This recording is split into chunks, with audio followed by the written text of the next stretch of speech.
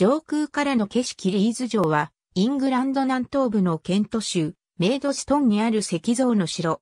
6人のイングランド王妃が暮らしたことから、貴婦人の城とも呼ばれる。500エーカーの敷地面積を持つ。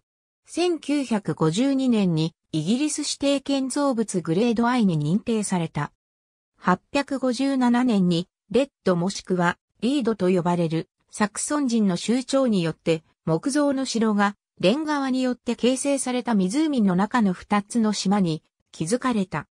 ヘンリー一世統治下の1119年にノルマン人の豪族の手により石像の城として建造され、1260年代までデクレーブクール家のものだった。1278年にエドワード一世の王妃のエリナー・オブ・カスティルの所有となり、それ以降、1552年までのおよそ300年に渡り、英国王室の城として使われた。エドワード一世の2番目の王妃のマーガレット・オブ・フランスに譲り渡されてから未亡人となった王妃が城を所有するという慣習が始まる。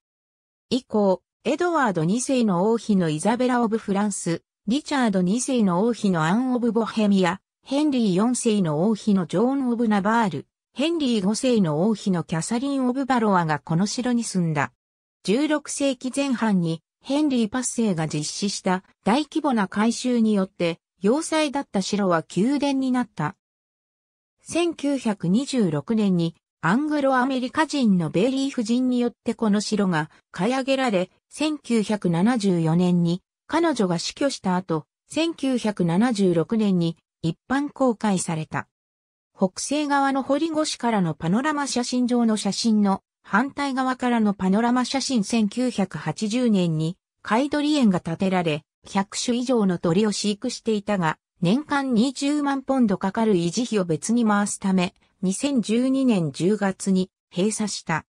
広大な庭には、生垣の迷路、グロット、ゴルフコース、さらに世界でも珍しい犬の首輪博物館、7歳から14歳を対象にした2つの城をテーマにした遊具アドベンチャーエリアを持つ。アイルランドの音楽グループのウエストライフのコンサートや、いろいろな映画の撮影に使用されている。